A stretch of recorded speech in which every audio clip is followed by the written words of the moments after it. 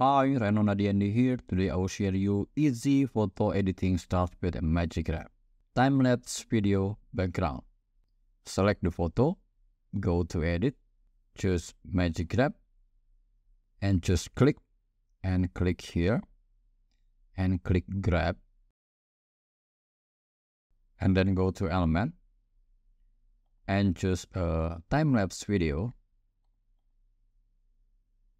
go to edit scroll down and then playback at the speed. For example to and then increase the size. Send behind send backward. Now you have it. Add emotion effect. Select the photo go to edit magic grab click and then you click brush. Click grab. And then if you choose the angry emotion add a fire. Add a fire element and backward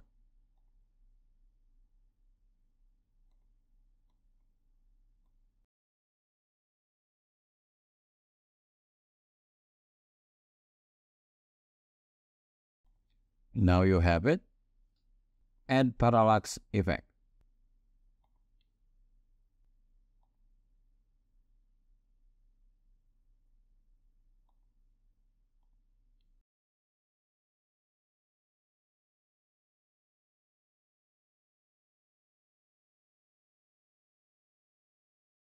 Select the background, go to animate. Choose photo zoom and then click the man.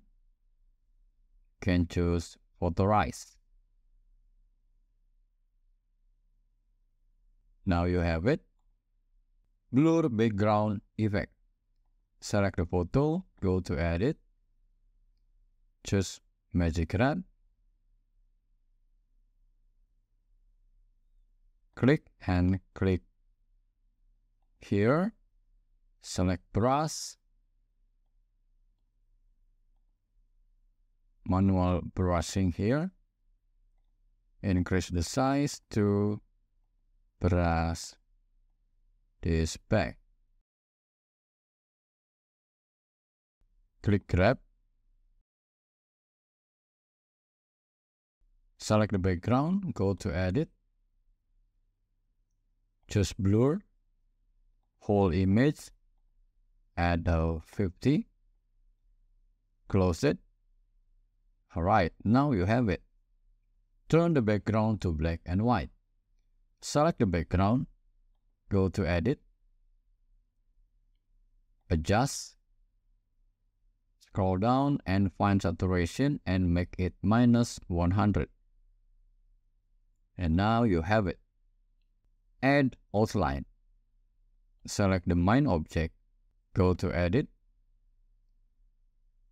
go to shadow, choose outline,